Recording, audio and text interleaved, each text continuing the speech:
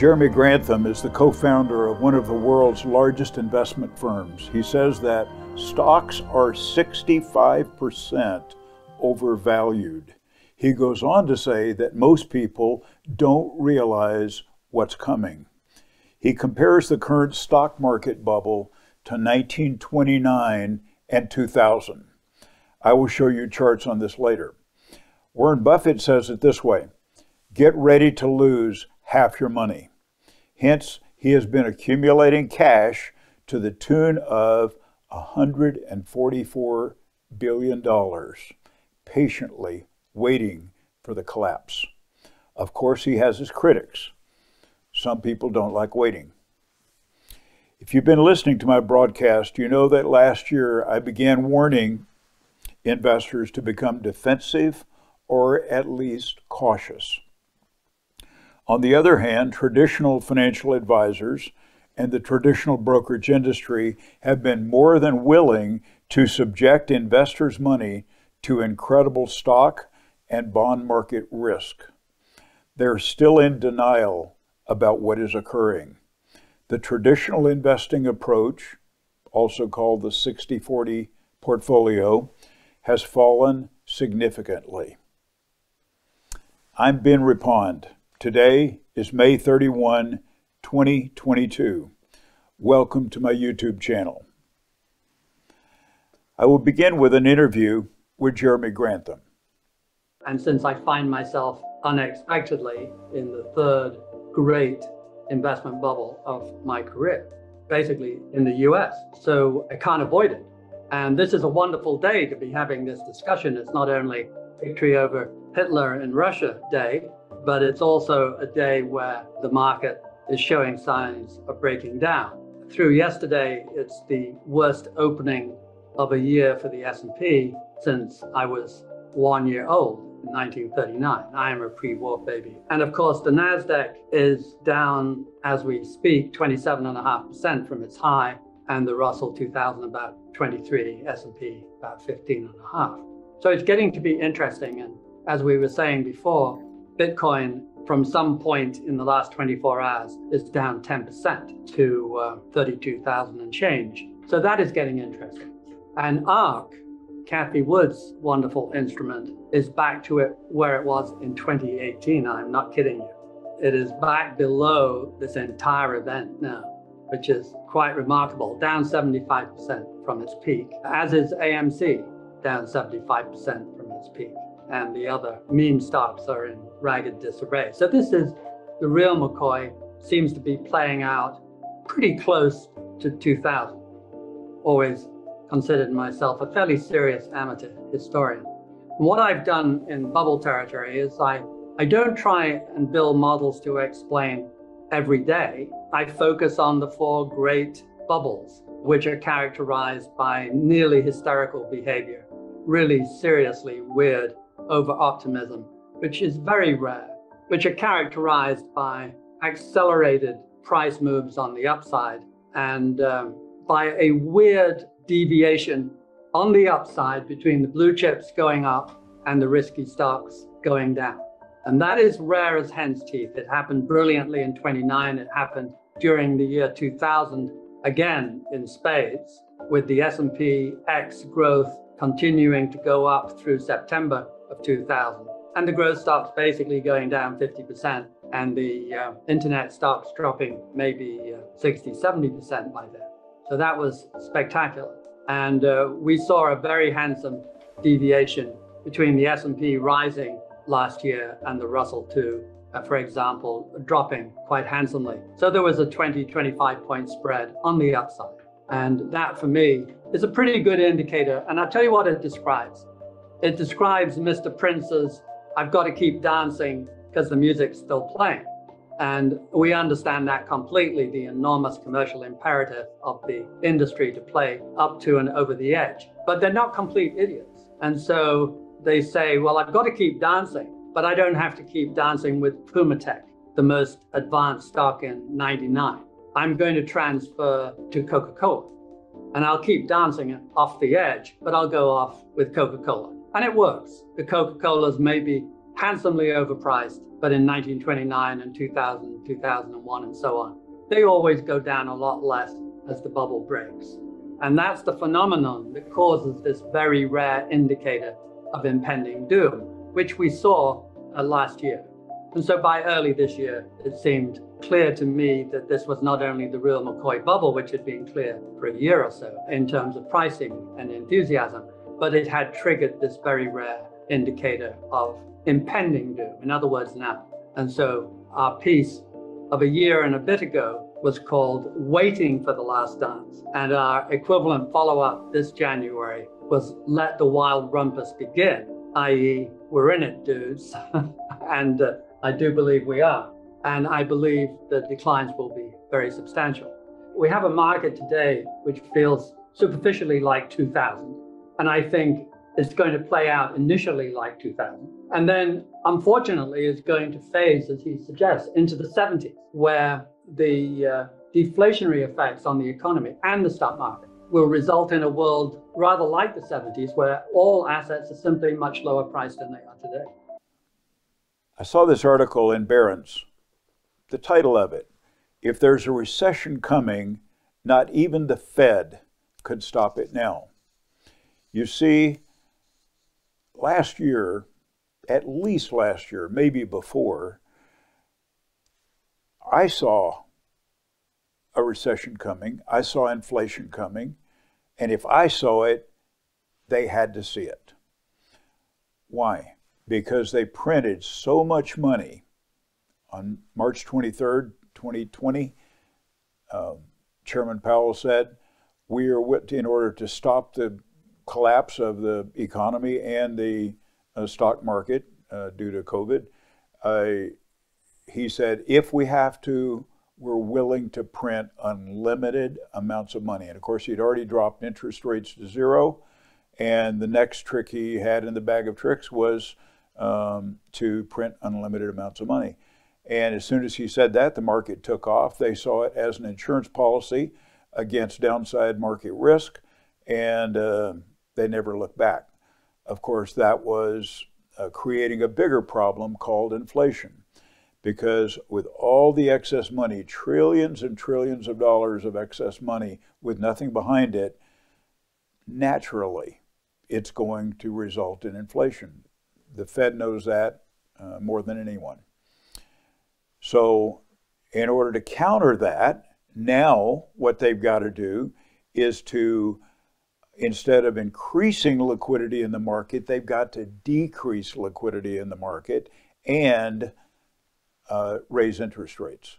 Well, that create both of those, the combination of those creates a recession. Everyone agrees that you're going to put the brakes so heavily on the, the economy that you will have a, a recession and probably a significant recession. We have three major indicators the Sahm rule, the uh, Larry Summers uh, 4% rule, and the inverted yield curve. I've covered these before. The, all three of those are negative territory. All three signaling, when they've occurred in the last 50 years, they have signaled a coming recession. So, yeah, the Fed cannot stop it now because if they don't, if they don't raise interest rates, then you have out of control inflation. And if you have out of control inflation, uh, that's something they're not willing to tolerate. In Reuters, it, this article said, shadow of 1970s inflation is starting to worry bondholders. The older people get, the more bonds they have in their portfolio. Target date funds become heavier and heavier allocated to bonds the older a person gets. And I understand that bondholders would be worried because as you as interest rates go up, the price of bonds naturally goes down. They, they move in opposite directions.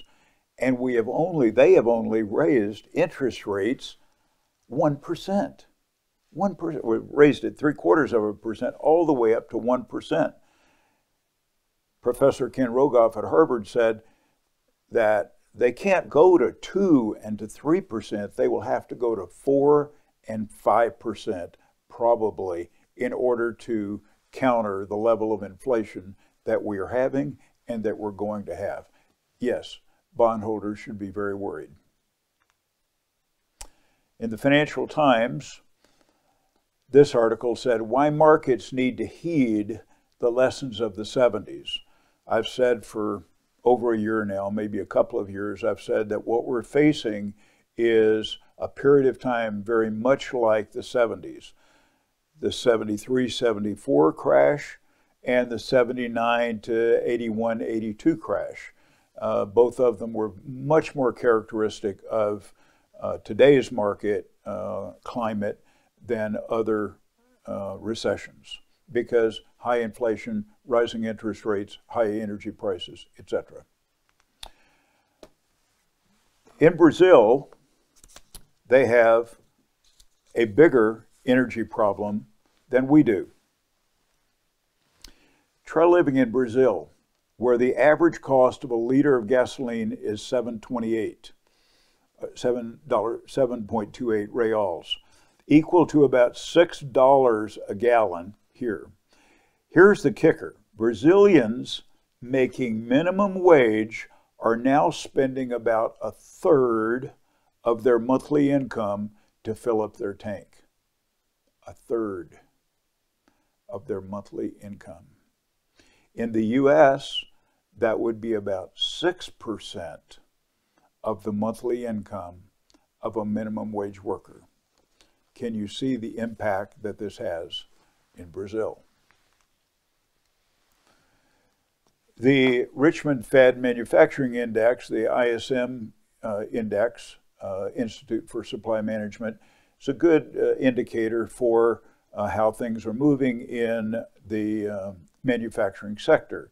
You can see that on the prices paid chart, this is a price that they pay for raw materials, it is going through the roof. So when we buy something, consumable materials, consumer goods, uh, prices are going up rapidly, radically, and why?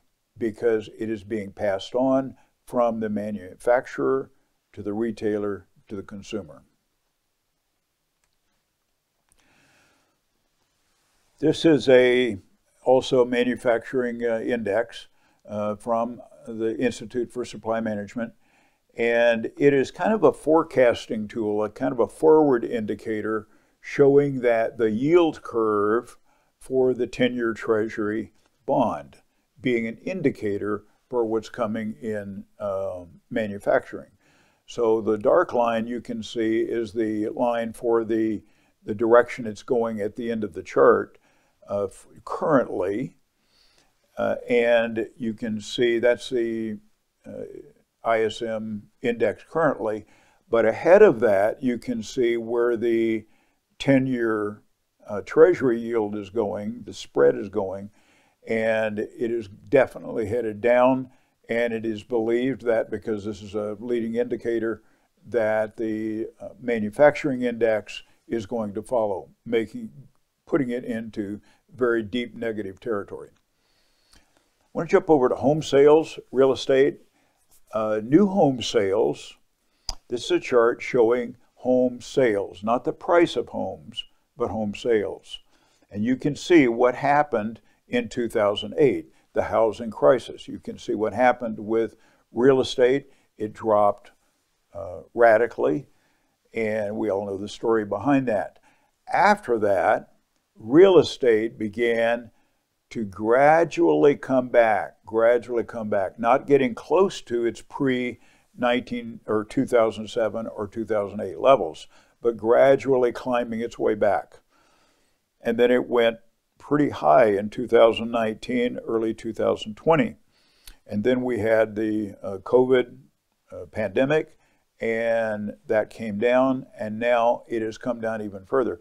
So I drew a line, a dark line, through a trend line showing the trend of new home sales going up out of the housing crisis. And then I drew a black arrow below that showing, if you can see this, at the very far right of your chart, the housing sales, the number of sales has dropped very rapidly this year. So it is now just doing a visual on it, it looks like it is about at the level of 2017 levels, about at that level, 2017. So it's five years ago. So the uh, home sales are on their way down, and prices have not yet begun to fall, but prices will be next. Now, I know that real estate is regional and, or local, and so each market is different. There will be some markets that will be worse than this, there will be some better than this. This is a national average. But it tells the story of a weakening economy and, in this case, a weakening housing market.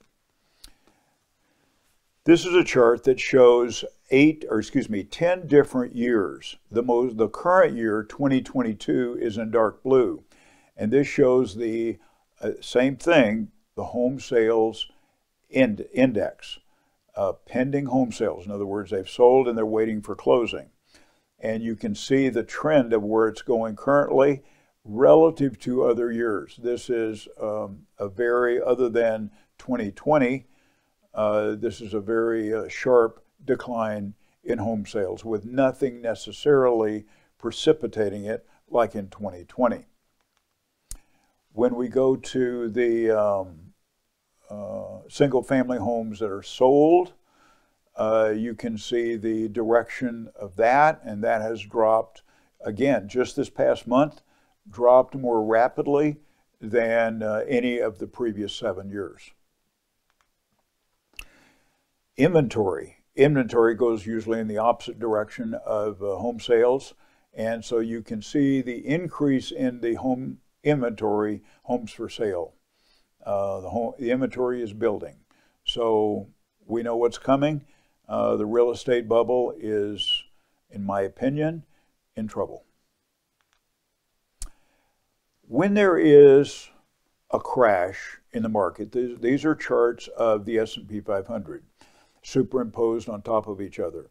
When there is a decline in the stock market, a sharp decline that goes into bear market territory, that either occurs in a year when there is a recession or in a year when there is not a recession that followed, like, for example, 2022. When there is a recession, the recovery from that collapse looks like the blue line. When there is not a recession that follows, it looks like the black line. If we are in a period, and we'll know at the end of this quarter, we're one month away. If we are in, in uh, have a negative um, growth, in other words, a contraction in the economy, then we will officially be in a recession. And you can see from this chart what typically happens uh, to the market in a recession buying stocks, buying the S&P, buying an index, doing anything at the bottom of a market, uh, one has to be very careful. What got a person into this mess is not what's going to lead them out of this mess. I referred to, Jeremy Grantham referred to uh, 1973-74, and then he referred to 1929.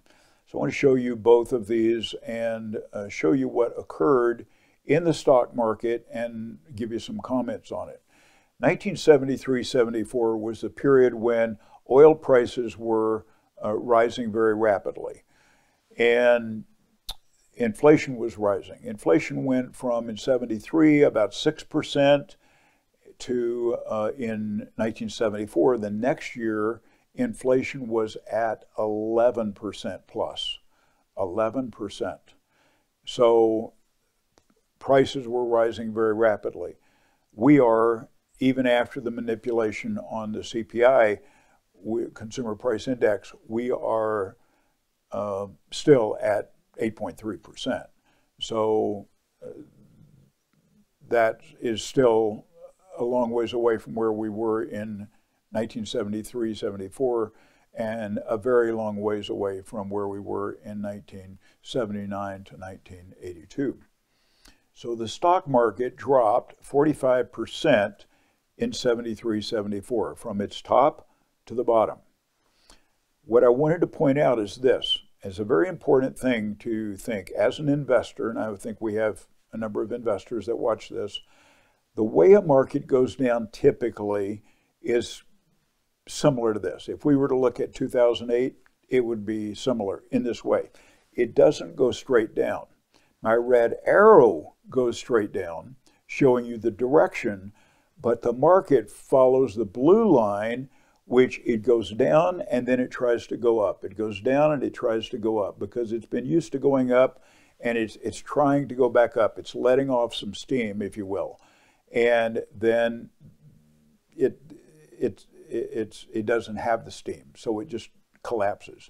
And so it drops and it drops and it drops after many attempts to go up. And finally, at the very end, and this is just a two year chart here, so you can see these micro movements. At the very end, after what about 10 or 20 times of trying to go back up, eventually it becomes exhausted. And people throw in the towel, they've had it with the stock market, and then the market's ready to go back up, and then the big money comes in and drives the market up. But not until that exhaustion takes place. What will happen in the current market or the market that precedes the next recession, let's assume it's the current market, is that the market will go down quite a bit as we saw this year, and then it will try to go back up for a while. That while could be a few days, a few weeks, even a month or two. And then because of the economic pressure on it, it pushes it back down again.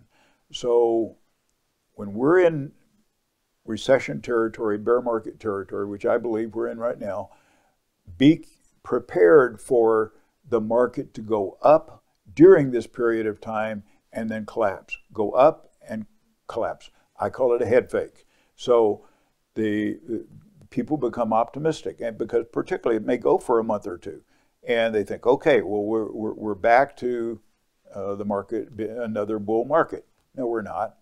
Uh, they just drew in the unsophisticated, the weak buyers, the retail investor. They just drew those people in, and then they slammed the hammer on them and drove the market back down. That's that's the way the game is played uh, with big money. Now I want to show you 1929. Uh, it's not a chart that we see very often, so I found this and I thought it was a really good chart. It did mark some uh, political uh, activity in these yellow boxes, but the but it did a good job of portraying the length of time that I wanted to show. So this covers the entire duration of the Great Depression, which went for quite a ways. And so all of this period of time up until World War II, all of this period of time it was the Great Depression. And that is marked by the gray shadow, the vertical gray shadow on the left. There was a second Great Depression that we don't hear a lot about that occurred in 1937 38, and that was called the Second Great Depression. I'll get to that in a minute. So I wanted to show you the decline of the market during 1929 for this entire duration. But the black arrow on the left shows the decline of the market from 1929 to 1932, marking a period of about three years. And the reason I'm showing this is because Jeremy Grantham says the conditions that we're in right now are what he calls a super bubble. This would be the fourth super bubble, according to him, in the last hundred years. The first one being uh, the um, stock market crash of 1929, which resulted in the Great Depression. Um, and then there were others. What was interesting about this, again, if you look below that black arrow, you see the same thing we saw in the previous chart. Five different times during the stock market crash of 29, going all the way down to 1932, five times the market tried to go back up. And for a period of time, maybe a month or two, people became optimistic. The retail investor came in, and then the big money, Wall Street money, slammed them back down, and people lost money again. The sixth time, at the very bottom, people were done. They threw in the towel, they lost everything they had in most cases, and they probably swore to themselves, I'll never invest another penny in the stock market because people were just wiped out. In addition, real estate prices had collapsed, jobs were nowhere, 25% unemployment, etc. There were many things that triggered it into the Great Depression, but the stock market itself was the delivering tool to deliver the blow to people that caused them to lose whatever they had invested.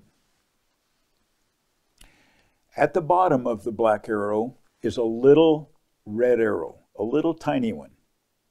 Because this is a numerical chart, an arithmetic chart, and not a logarithmic chart, it does not show the magnitude of that increase. And but I'll so the let me say first of all the decline in the market went from its high in 1929 down to 1932. That decline was 88 percent. 88 percent. So I won't say people had 12 cents on the dollar left. That's just the market. People generally at that time were invested in this stock and that stock. Virtually all of those companies went out of business, went bankrupt people by and large lost everything they had. Most people did. And but the when we look at the Dow Jones Industrial Average, it declined 88%. What was left was 12 cents on the dollar. At that point, when people were really wiped out, that was the ideal time to invest. However, people's emotions were wrung out. They were exhausted. They had no money left. They were swearing, I'll never invest in the market again. I understand that thinking and I understand those emotions, but that is the time to be invested. So it reminds me of the story I've told before of Joseph Kennedy, who got his tip from the shoeshine boy and determined, okay, when the shoeshine boy is giving you uh, investment advice, that's the time to get out of the market. And that occurred in 1929. I believe it was the summer of 1929. And from there, he actually got out of the market and shorted the market. And he went from having a net worth of about 50 million in uh, at that time to billions, several billion dollars by 1935. So he made it by shorting the market. And once the market hit the bottom in 1932, he made various investments. I don't know the detail of those, but uh, somehow he was very astute about doing it. So the key to making money in the market is not to follow traditional financial advisor, traditional financial advisor advice. It's horrible because it has people invested at the top and they go all the way down. They are not protected and they're told that they can get bonds and those will protect them, and that has failed. This year it's failed. It's going to continue to fail if interest rates continue to go up, and I think they will. So that model is going to become a very antiquated uh, model that will be uh, rejected in the future, I believe, because it will fail people and it will fail the financial advising industry.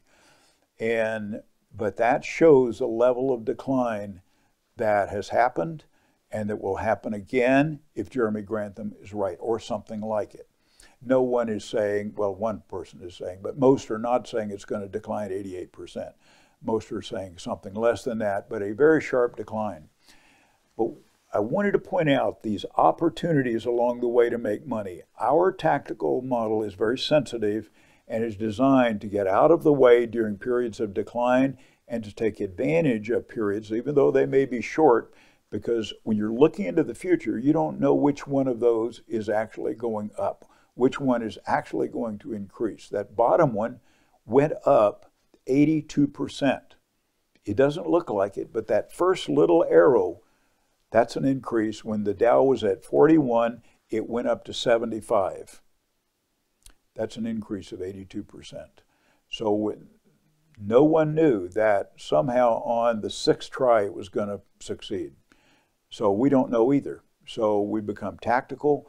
We invest when we think the market is moving up. We get out of the way when our indicators are telling risk, telling us that risk is entering the market. That's my opinion, the only way to do it.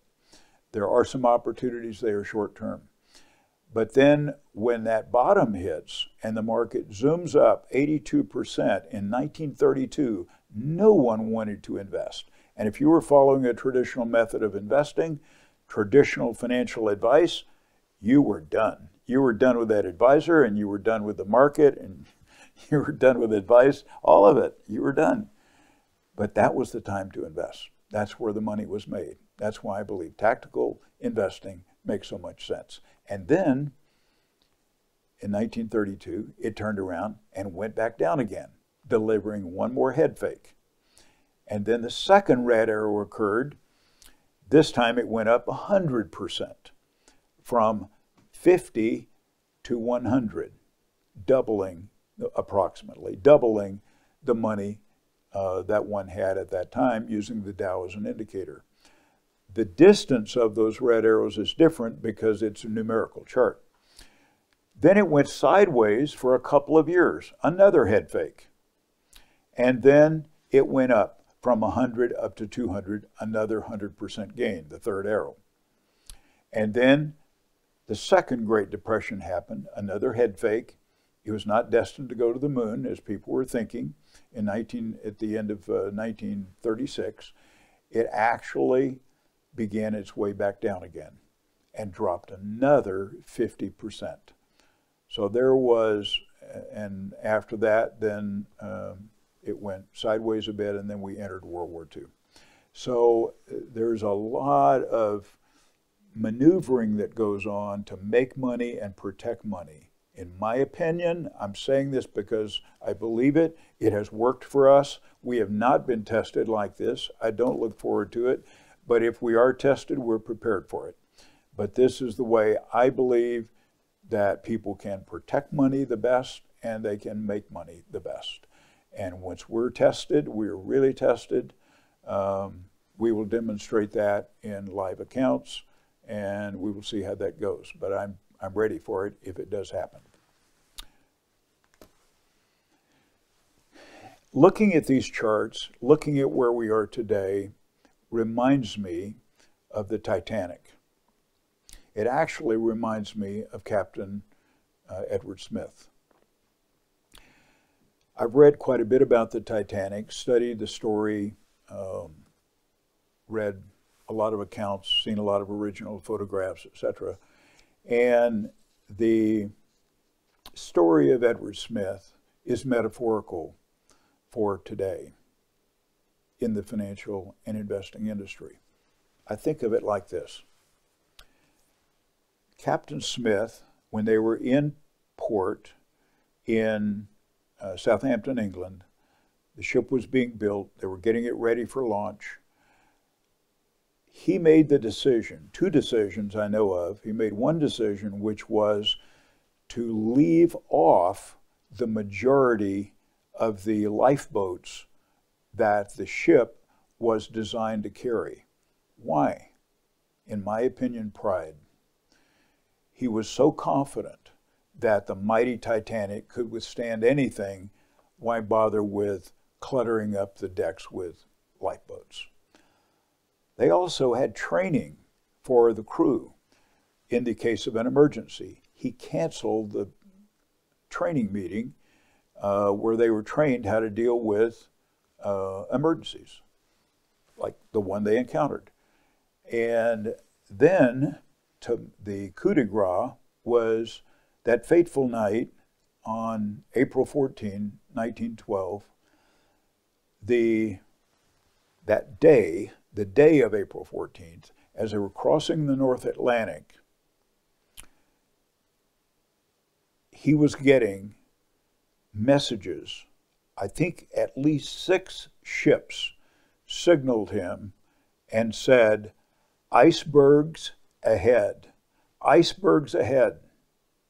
He was warned no less than six times that there were icebergs ahead. He ignored all of those warnings, went up to the first class dining room, and was having, I'm sure, a very nice uh, steak dinner and fine wine when that fateful event happened about 11:30 that night. Was he drunk on wine or other liquor, I don't know, maybe. But I know one thing he had abdicated his responsibility and turned it over to people who did not have his experience, and we know the rest of the story. In my opinion, this is very similar to what's going on right now.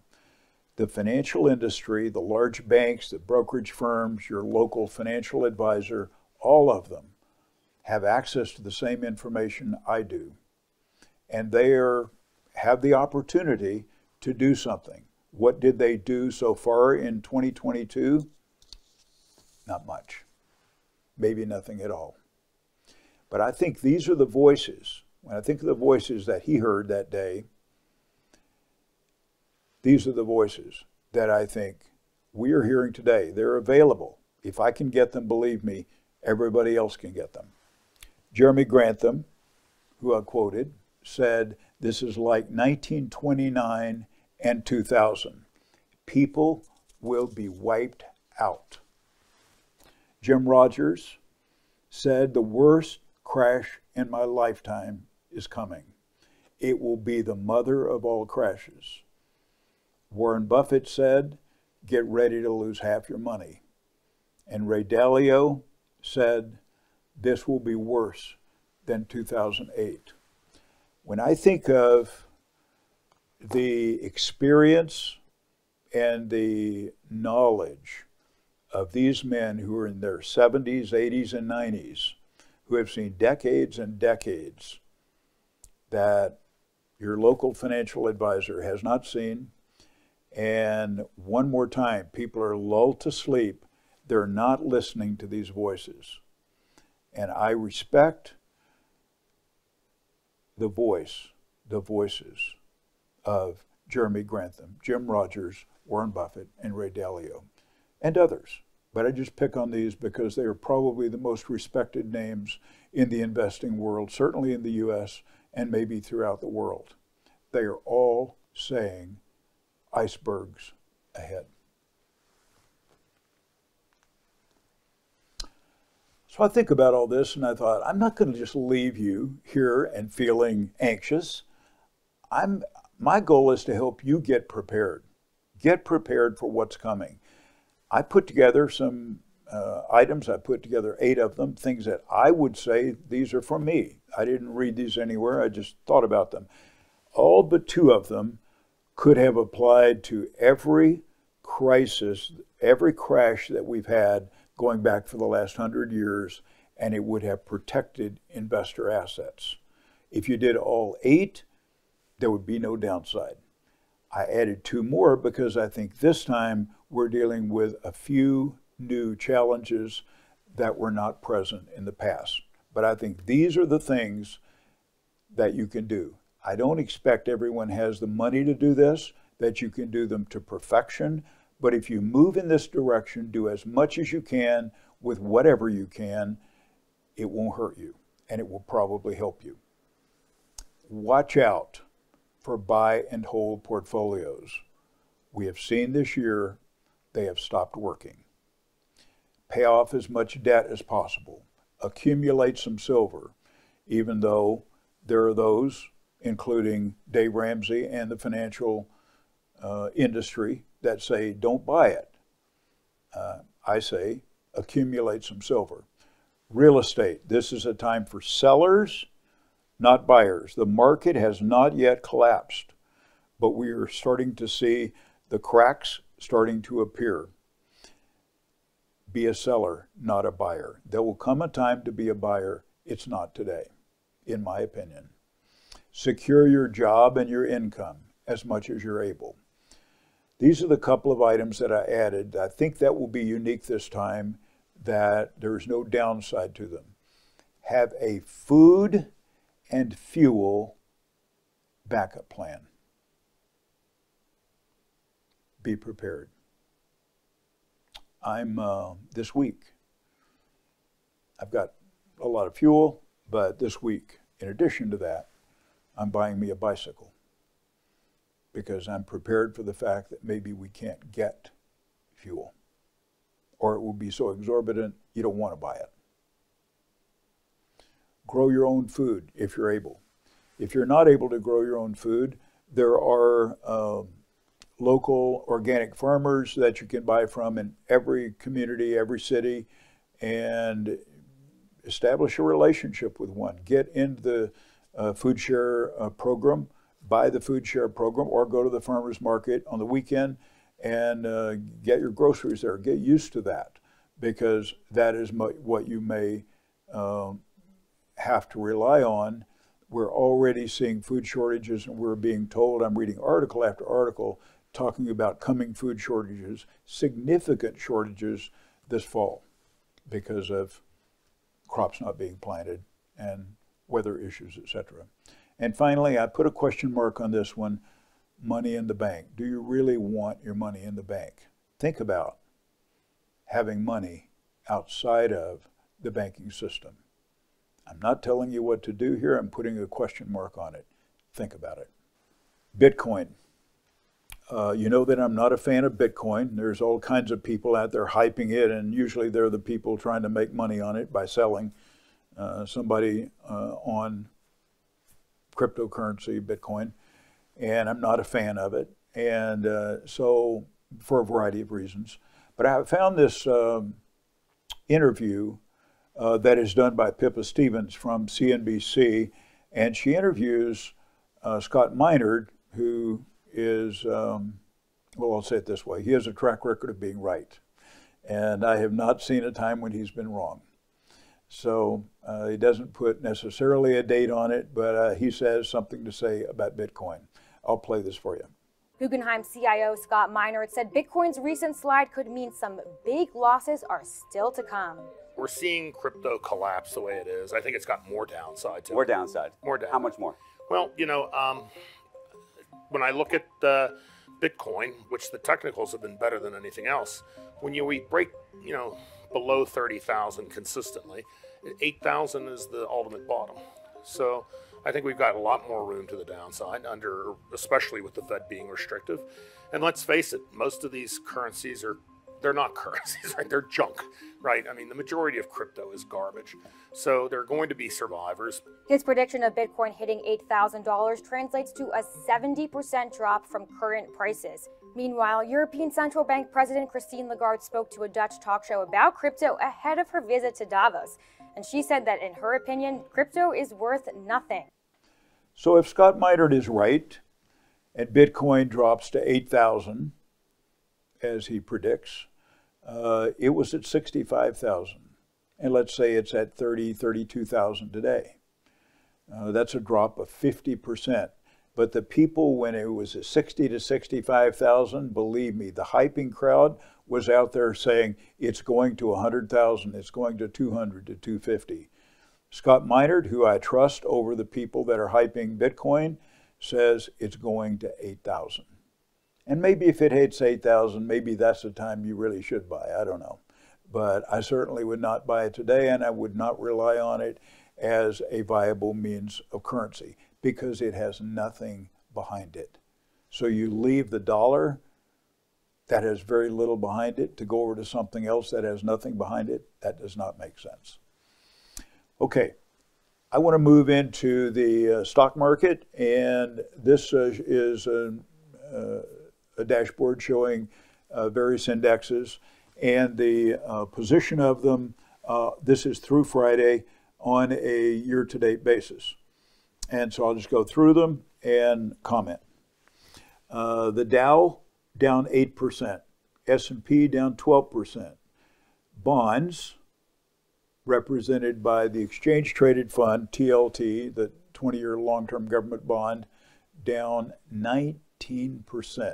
This was the insurance policy that was supposed to protect you using traditional financial advisors methods. They don't all buy TLT, they can buy other bonds, but all the bonds collapsed defying their model. NASDAQ 100 down 22%. The technology sector of the um, NASDAQ 100 down 25%. And the ARK K funds, the innovation funds uh, by the ARK family of funds, down 52%. And of course, I love to pick on Netflix, down 67%. The six stock market averages, one is uh, Dow, S&P, Nasdaq 100, and the Russell 2000 Small Cap Index Fund, uh, all are below three of their four moving averages. They are all above their 20 day moving averages thanks to a few day rally at the end of last week.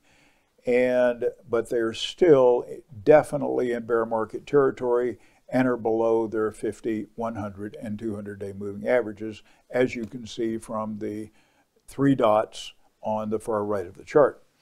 The EFA, which is the developed foreign markets, same thing. And the emerging foreign markets, same thing. All above their 20 day and all below their 50, 100, and 200 day moving averages, telling me they're all clearly in bear market territory. That could change. Maybe we'll go up from here, as you've seen in the previous charts. Maybe we'll go up for a month, even a couple of months, or maybe it's a few days. We don't know the future.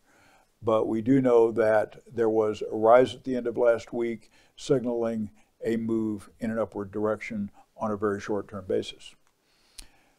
When I break the S&P down, it, there are 11 sectors in the S&P. One of those sectors, the energy sector, is the only one that is above its 20, 50, 100, and 200 day moving averages. Energy. All of the others are, excuse me, and basic materials. And all of the others are, most of them are above their 20 day moving averages and um, below their 50, 100, and 200 day moving averages. So you can see there are 19 dots uh, that uh, signal that the uh, positive above their moving averages compared to four last week. So definitely an improvement in the uh, charts. Now I want to move over to the um, uh, line charts. The S&P 500 uh, is represented by the line that moves up and down, and it's uh, what cuts through it is the 20 period moving average. Now this is a weekly chart, so for the week, one move equals one week. So you can see at the far right of the chart that the direction is down when looked at on a weekly chart. And I'm sure when we look at it on a daily chart, it would be the same thing. But you can see that sharp move up at the end. Will that continue on up and will it even get above its 20 period moving average? We'll find out. But it was positive indication that the market is moving up, uh, at least at this point, represented by the S&P 500 SPY. Then I compare the growth index numerator to the value index denominator, SPY-G divided by SPY-V, showing growth stocks compared to value stocks, all within the S&P 500. And you can see for about this is a 12 month chart. So for about five months, the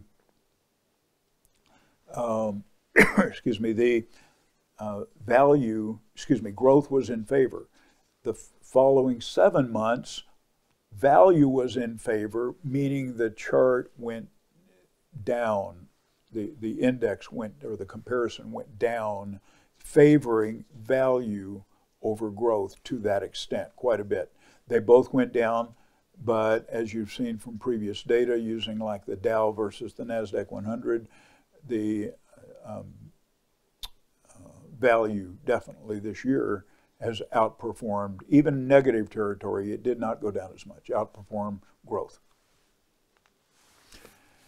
Small cap, represented by the index uh, ETF IWM. IWM being the numerator and SPY being the denominator. So this shows how is the small cap index doing relative to the S&P 500, which includes uh, large cap stocks. Small cap versus large cap. General direction over the last 12 months is small cap has way, way underperformed large cap. When we look at the uh, long-term government bond, TLT, um, and this is an absolute chart, not a relative chart. So this is the absolute movement of TLT over the past 24 months, and it's a weekly chart. So you can see both the red line and the more recent black line to the right shows that for these periods of time, the bonds have been in decline. And this is what I have been saying. Bonds are in decline. About uh, 15 months ago or so, we got completely out of bonds because I saw this coming and I didn't want anything to do with it because I thought this is going to be the future of bonds. And sure enough, here we are. So if you're in bonds, and most investors are, you're going to have to decide is this what you want? Gold, represented by the ETF GLD, 24 month chart, a lot of up and down, mostly up and down. I looked for a trend line. There's a longer term trend line that might be slightly down. There's one I picked one that's slightly up, but in general, it's mostly up and down. Silver, same thing, more up and down, and uh, you can see there are two trends that have developed. One is a downtrend represented by the red line, and an upward trend represented by the longer term represented by the black line. And then when I compare the two in a relative basis, putting silver as the numerator, gold as the denominator, you can see that silver outperformed, again, 24 months, that silver outperformed gold, represented by the red line, for a period of about, I'll say, nine or 10 months, it looks like. And then for the last 14, 15 months, uh, gold has outperformed silver uh, and represented by the line going down for that period of time. They change places over time, but in general, uh, they either generally go up or they generally go down. They tend to move uh, together. The volatility index, I've shown you this, this is as of Friday. The, uh, because the market has gone up this past week, the, that means the volatility index is going to tend to drop. So the uh, represented by that by the black arrow. So you can see over the past few weeks that volatility in the market has started to come down. It is now at about 26 and something, and I drew the line at 24 because that is an arbitrary uh, number where people pay attention to is there volatility in the market, meaning above 24, or less volatility, meaning below 24. But again, not unlike uh, precious metals, this has gone up and down quite a bit during the past year. The uh, Asbury Research does uh, a chart or uh, metrics, six metrics they measure of is what is going on with the market. Those were all negative last week, and this past week, uh, toward the end of the week, they turned uh, uh, four of them turned positive. So four out of six are now positive, indicating what I've said before. The in a short-term basis, at least so far, the market is moving in an upward direction, even though the general trend is still down. The uh, spot prices for gold and silver, gold at 1856 and silver at 2215, both having uh, positive gains, and this is as of May 29th. Inflation. Inflation is upon us and is roaring ahead. The biggest issue out there, yes, it may be um, interest rates, it may be potential breakdown in housing prices, but the biggest issue that all of us have to do deal with is inflation and relative to wages. Uh, inflation is overpowering income and wages. And I think this uh, cartoon depicts it correctly. I will put links to the um, articles and quotes that I've given below in the comments section. If you have questions or comments, feel free to leave them. Any question uh, I will answer. Thank you for watching.